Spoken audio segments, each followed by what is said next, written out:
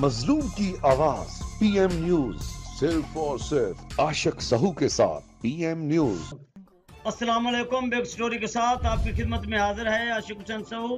Nadreen, आज की big story Khadija torture case और शुभात गिल के ड्रामेबाजी के हवाले से आए। नादरीन पीएम न्यूज़ की टीम की कोशिशें रंग लाई हैं। पीएम न्यूज़ ने अपने स्लोगन मजलूम की आवाज़ की पासदारी करते हुए हमेशा मजलूमों के लिए आवाज़ हक को बुलंद किया है। किसी के साथ जिनसी बेड़िए ज्यादती करें या किसी भी हाउसिंग सोसाइटी में फ्रॉड हो या करप्शन पीएम न्यूज़ की टीम ने हमेशा साफ़ अवर का किरदार अदा किया है। जब खतीजा टार्चर केस में केस से मुतल दफात की बजाय शेख दानिश को बचाने के लिए केस से मुतल दफात दर्ज न की गई तो इस हवाले से पी एम न्यूज़ की टीम ने आवाज़ हक को बुलंद किया ताकि मुतलमा खतीजा को इंसाफ मिल सके। तो सोशल मीडिया और पी एम न्यूज़ की कोशिशें रंग लाई हैं और आखिरकार खतीजा टार्चर केस में अगवा असमत दरी, चादर चार दीवारी, तकदस पमाली की दफात शामिल कर ली गई हैं।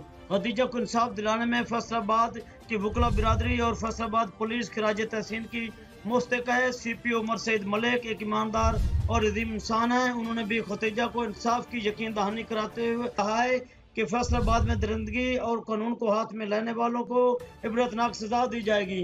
अवाम के जानो माल का तहफ़ हमारे वाले तरजीहत हैं। दूसरी जानब खतीजा गफूर की वीडियो भी मंजर आम पर आ गई है, जिसमें उन्होंने वजाहत कर दी है कि मेरी इंसानी दरंदे शेख दाने से कोई सुलह नहीं हुई। वीडियो मलियादा फरमाएँ। असलम मेरा नाम खदीजा है। मुझे पता है सुबह से सोशल मीडिया पे एक वीडियो वायरल हो रही है। हमने इनसे कोई सुलह नहीं की। ये वीडियो बहुत पुरानी है। ये जब इनके बारे में कोई सोशल मीडिया कैंपेन चलाई गई थी, ये तब की वीडियो जो मुझसे आना ने बनवाई थी और मुझे तब बिल्कुल नहीं पता था कि मुझसे किस लिए बनवाई जा रही है। लेकिन मैं अपने मुकदमे और अपने स्टैंड पे स्टैंड कर रही हूँ और इन ताला हम इन कल्प्रिट्स को पनिशमेंट देंगे। और मैं चाहती हूँ कि आप सब मुझे सपोर्ट करें। और ये सब कुछ, ये जो वीडियो बनी थी, ये भी ब्लैकमेलिंग के लिए बनी थी। हमने इनसे कोई सुलह नहीं की, हम इस पूरे केस को कंटेस्ट करेंगे। मुझे पता है सुबह से सोशल मीडिया पे एक वीडियो वायरल हो रही है। हमने इनसे कोई सुलह नहीं की। ये वीडियो बहुत पुरानी है। ये जब इनके बारे में कोई सोशल मीडिया कैंपेन चलाई गई थी, ये तब की वीडियो जो मुझसे आना ने बनवाई थी और मुझे तब बिल्कुल नहीं पता था कि मुझसे किस लिए बनवाई जा रही है।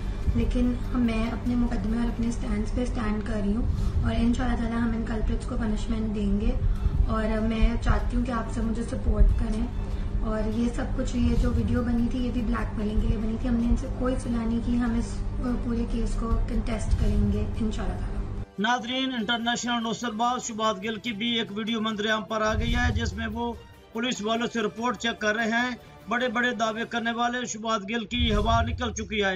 मुल्क में इंतज़ार फैलाने वालों को कैफर किरदार तक पहुँचाना चाहिए। पाकिस्तान की बदकिस्मती है कि इस मुल्क ने जिसको भी इज़्ज़त दी, वो गदार वतन ठहरा। मुल्क दुश्मनों के एजेंडों को पाया तकमील तक पहुँचाने वाले वाजिबुल कतल है। अफवाज पाकिस्तान हमारा फख्र है। शुभात गिल जैसे नौसरबाजों को इबरतनाक सजा मिलनी चाहिए। शुभात गिल की वीडियो मलादा फरमाएँ। जिसमें वो ड्रामेबाजी कर रहे हैं, जैसे वो बम धमाके में जख्मी हुए हैं।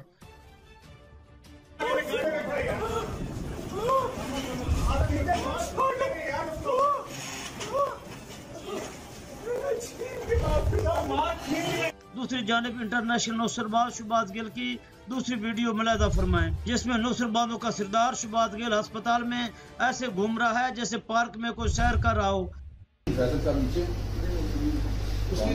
उसका फिर वो होगा जूनियर होगा बस किसी एक किसी एक को ऊपर भेजेंगे। नाजरीन, शुभात गिल जैसे मुनाफों को तो सजा मिलनी चाहिए, मगर साथ साथ शुभात गिल के लीडर इमरान खान को भी सजा मिलनी चाहिए। तो हिन रसालत के मुर्त के वाजिबुल कत्ल हैं। इमरान खान ने सुलेमान रुश्दी की सपोर्ट करके दुनिया भर के मुसलमानों की दिल आजारी की है। फितना खां का असल चेहरा बेनकाब हो चुका है। ये फसादी आलमी साजिश का हिस्सा है और उम्मत मुसलमान की तबाही चाहता है।